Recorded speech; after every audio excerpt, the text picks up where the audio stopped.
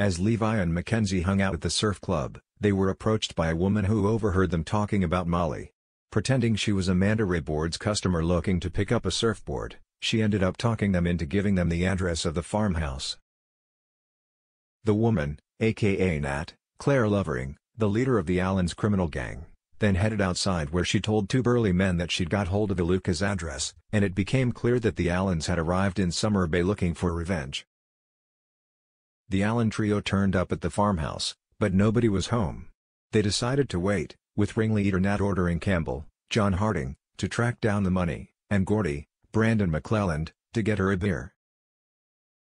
With Iluka, Molly and Kane all otherwise preoccupied, Mackenzie and Levi decided to cut their afternoon short and head back to the farmhouse for some alone time, but they didn't expect to come back to a trashed house, packed full of crooks.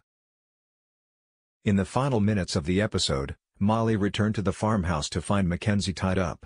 As he went to rescue her, Nat and her heavies came around the corner, demanding to know where Iluka was.